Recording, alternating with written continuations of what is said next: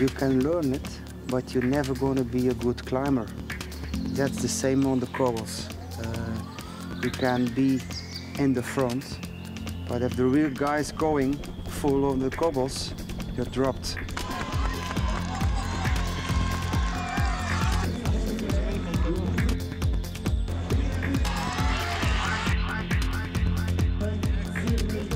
That's it, that's Paris-Roubaix. You have to think about yourself and your team. Just about yourself and forget the rest. Don't think about anybody. If somebody crashed, you have to jump over him. That's Paris-Roubaix.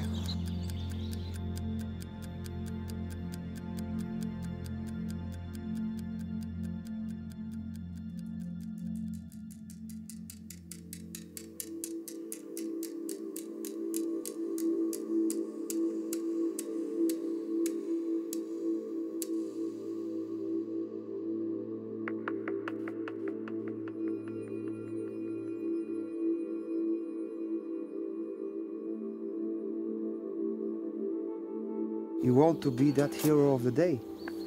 Of course, you're thinking about other heroes. Uh, De Vlaeminck has won five, five times. Uh, Eddie Merckx, uh, plenty of, of heroes. That day, you have to think about yourself. All the riders have uh, dif- difficult problems after Paris-Roubaix especially for uh, the prostate. The impact. The first thing that you do uh, here in your life is to try to do a pee. It's hurt a lot.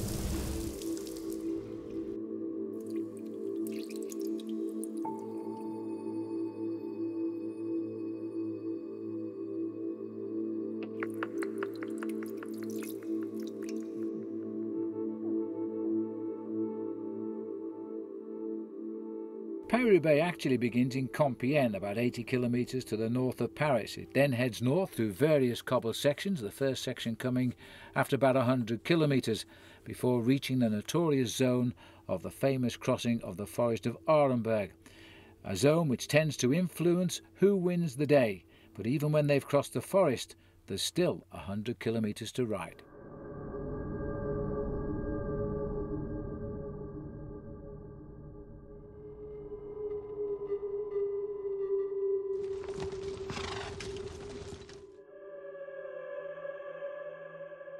S'en coiffe comme de l'héroïque, irrésistible mais contenu par sa petite raison virile en foudre, soucieux, expiatoire et pubère, muet, rire, que si la lucide and lordly crest of vertigo on the invisible brow sparkles, then shades.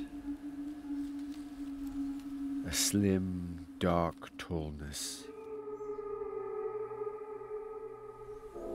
Every thought expresses a throw of the dice.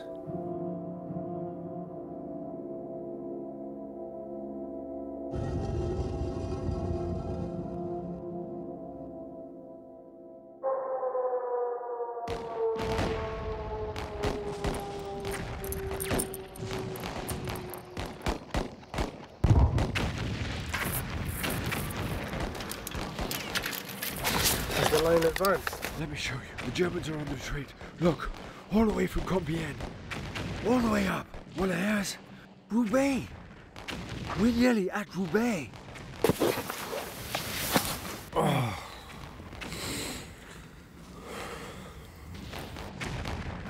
The master beyond former calculation, where the lost maneuver with the age rose, implying that formerly he grasped the helm of this conflagration of the concerted. Horizon at his feet, that readies itself, moves and merges with the blow that grips it, as one threatens fate and the winds. I like that. As one threatens fate and the winds. As one threatens fate and the wind.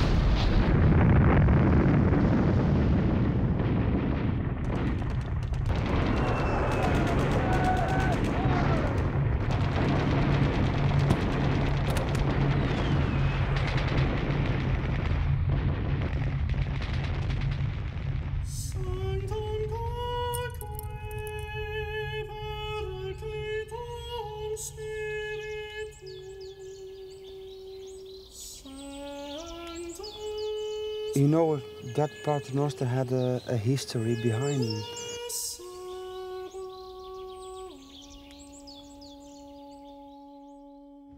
Ta gronde totale en formation, veillant, tout en roulant, brillant et méditant, avant de Cold with neglect and desuetude. Not so much, though, that it fails to enumerate on some vacant and superior surface.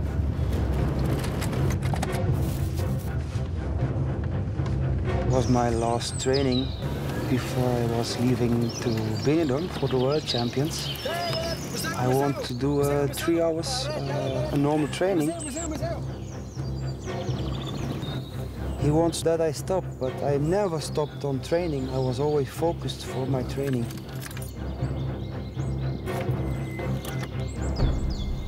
He said to me, uh, "Your leven is in gevaar." That means uh, your life is in danger. On that moment, he get out that paternoster and he said to me, keep it, it protect you.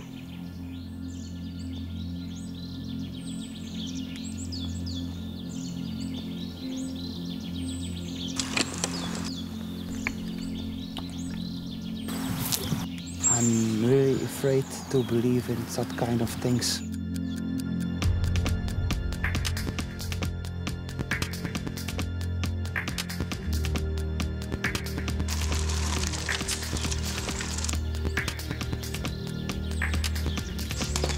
In the evening, the day before, I put my paternoster in my shoes because I prepare always the day before everything. Paternoster was always in the left side.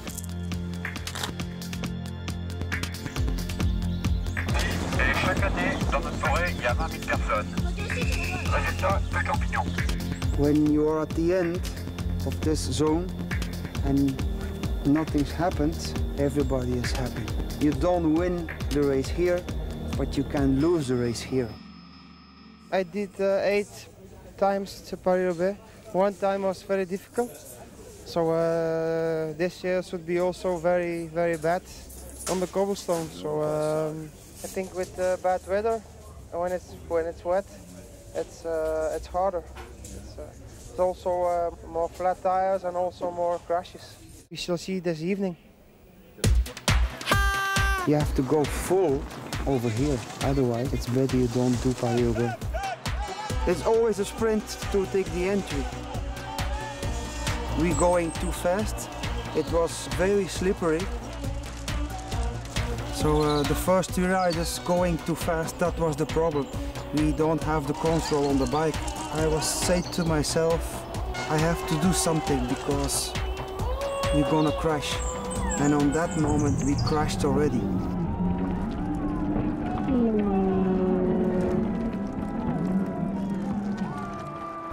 Somebody's gone down already, Phil, and this is going to be the start of uh, the massacre of the Arenberg Forest because there are riders all over the place there. But it looks as if Johan Museeuw and Stefano Zanini have disappeared. I think they too have gone down in the crashes. And indeed, uh, Museeuw has fallen and apparently has stopped on the roadside. He has a knee injury. Uh, that's all we know at the moment. But uh, it looks as though Museeuw is in big trouble.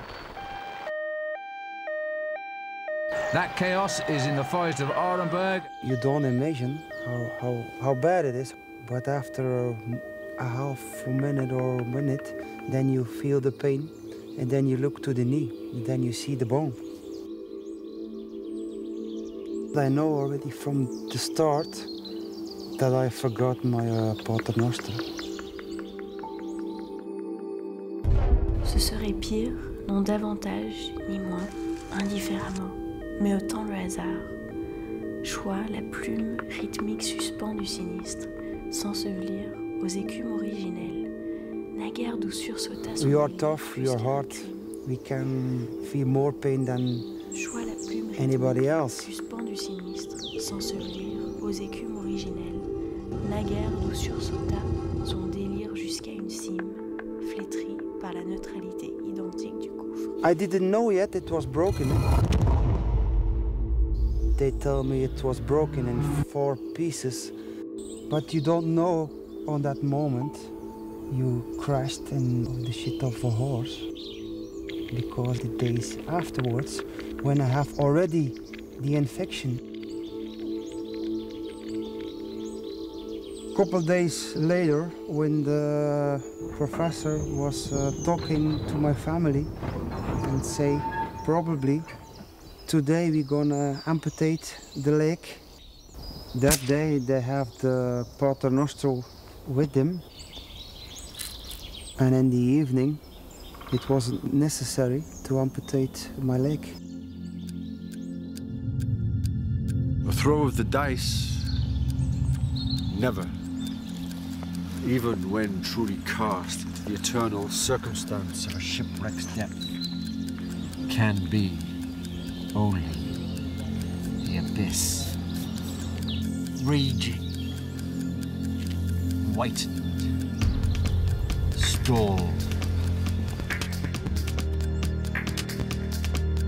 The professor said to me, it's gonna be impossible to ride with the bike again. So I say, we will see.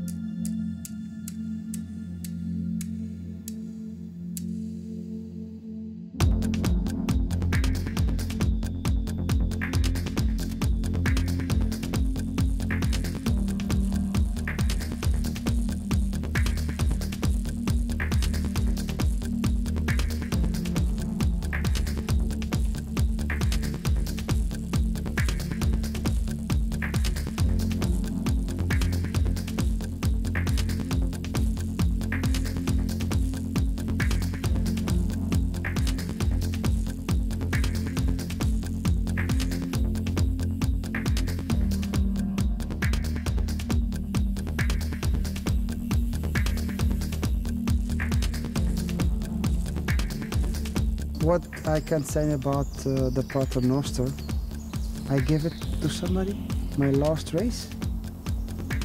I never say to nobody to who I give it. So uh, today I don't say as well that I give it to